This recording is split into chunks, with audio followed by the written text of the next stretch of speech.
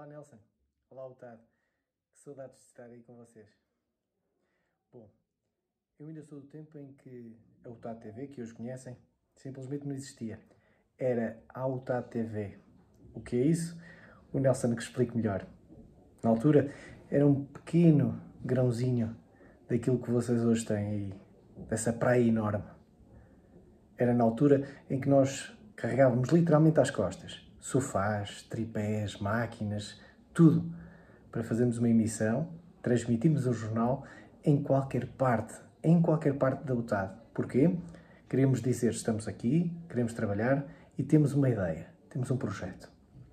Esse projeto hoje são vocês, que estão aí desse lado e que estão a aprender e estão a fazer o melhor que podem. Aquilo que eu vos posso deixar são duas ideias.